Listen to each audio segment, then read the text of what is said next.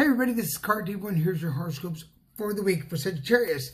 Time to let things go. Capricorn, you're detoxing from people, places, and things. Aquarius, pay attention to your body. For Pisces, it's time to make some time for fun. For Aries, it's okay to be afraid, do it anyways. For Taurus, don't start anything new just yet. For Gemini, it's time to share your wisdom. For Cancer, it's enough being patient. Let's go for it. For Leo, it's okay to accept love from others. For Virgo, keep moving forward. For Libra, take care of yourself. Build up your energy. And for Scorpio, you're not being grateful for the things that are happening around you, good or bad.